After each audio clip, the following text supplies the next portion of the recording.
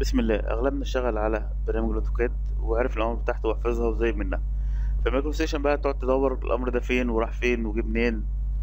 طيب من utilities في طريقة بسيطة إن أنا أجي هنا أقول له key-in بتلاقي هنا أوامر بتسهل على الشغل. يعني مثلا أنا عايز الأوامر الخاصة بال DWG تمام؟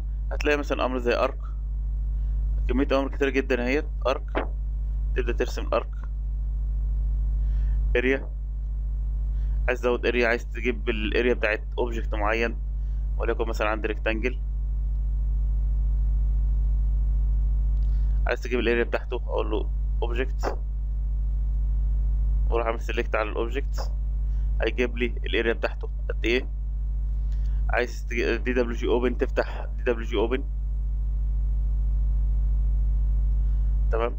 عايز دي دبليو جي سيف دي دبليو جي يونت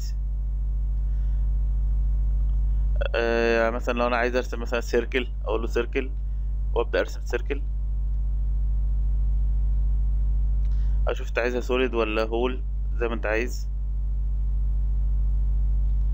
آه عايز ترسم من ال center من ال edge خلاص نفس الأوامر اللي موجودة في المايكرو ستيشن أنت وصلت لها. كأنك أنت بتجيب البديل للأوتوكاد بتجيبه هنا. مثلا أمر copy.